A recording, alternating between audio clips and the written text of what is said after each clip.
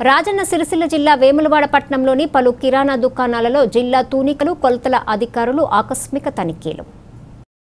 వేములవాడ పట్టణంలోని కళ్ళు కిరాణా దుకాణాల్లో షాపుల యజమానులు నిర్ణీత బరువు కన్నా తక్కువ తూకంతో సరుకులను విక్రయిస్తున్నారనే ఫిర్యాదుల మేరకు తూనికల కొలతల శాఖ ఆధ్వర్యంలో తనిఖీలు చేపట్టి పలు కంపెనీలపై కేసులు నమోదు చేసినట్లు తూనికలు కొలతల అధికారి రవీందర్ తెలిపారు. జిల్లాలో కిరాణా దుకాణాలు చికెన్ మటన్ షాప్ ఐరన్ దుకాణాలు తదితర వ్యాపార కేంద్రాల్లో తక్కువ కొలతలతో వస్తువులను విక్రయిస్తే కేసులు నమోదు చేస్తామని హెచ్చరించారు.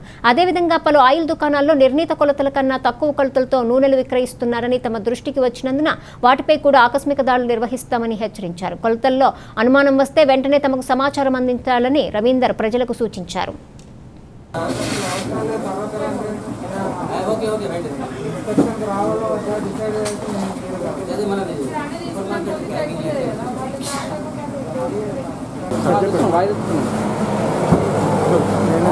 జిల్లా శాఖ అధికారి రాజన్న సిరిసిల్ల అండి.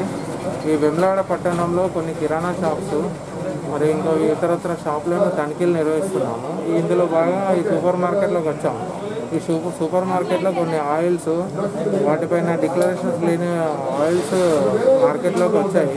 వాటిపైన కేసులు నమోదు చేశాము. కొన్ని వస్తువులపైన ఏంటంటే రేటు ఒక సింగిల్ ప్యాకేజ్ మీద ఉన్న ఎంఆర్పి హోల్సేల్ ప్యాకేజ్ మీద ఒక ఇరవై ఉన్న కాటన్లో ఇరవై ఉన్న వస్తువుల మీద ఎనభై రూపాయలు అనేసి అవి మార్కెట్లో పంపిస్తున్నారు. అంటే దాని మీద హోల్సేల్ ప్యాకేజ్ మీద ఎంత అయితే ఉంటుందో దానికి అనుకూలంగా అంత ట్యాక్స్ పే చేస్తున్నారు అటు దాని దృష్టిలో పెట్టుకొని దానిపైన కేసు నమోదు చేయడం జరిగింది. వాటికి సంబంధించిన బిల్స్ కూడా అడగడం జరిగింది. ఇలా కొన్ని మేము ఇప్పుడు ఇందాక ఒక షాప్లో చూసాను ఒక వన్ కేజీ ప్యాక్ చేయాల్సిన రవ్వని తొమ్మిది వందల గ్రాములు ప్యాక్ చేశారు. దాని అంటే తొమ్మిది వందల గ్రాములు చేయకూడదు. అంటే కే- చేస్తే కిలో ప్యాక్ చేయాలి లేదంటే ఫైవ్ హండ్రెడ్ గ్రామ్స్ ప్యాక్ చేయాలి. వాళ్ళు ఏంటంటే ఇష్టం ఉన్న రీతిలో ప్యాక్ చేస్తూ హండ్రెడ్ గ్రామ్స్ తక్కువ పెట్టి ప్యాక్ చేసి ఆ కిలో డబ్బులు తీసుకుంటున్నారు అండి ప్రైస్ కంట్రోల్ లేదు కాబట్టి అది ప్యాకేజ్ అనేది ఒక స్టాండర్డ్ ఫామ్లో ప్యాక్ చేయాలి. ఎవరైనా మ్యానుఫ్యాక్చరర్ కానీ ఎవరైనా ప్రతి తయారుదారు ఒక కిలో అంటే ఒక కిలో ప్యాక్ చేయాలి. తొమ్మిది వందల గ్రాములు ప్యాక్ చేయాలి.